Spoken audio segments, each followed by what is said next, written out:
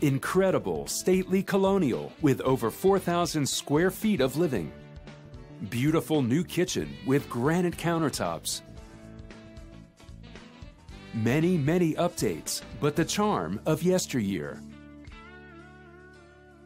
28 acres of rolling hills and woods. Possible subdivision, mother-in-law's suite, two porches, garage, and workshop. Text H61372 to 51004 for current information.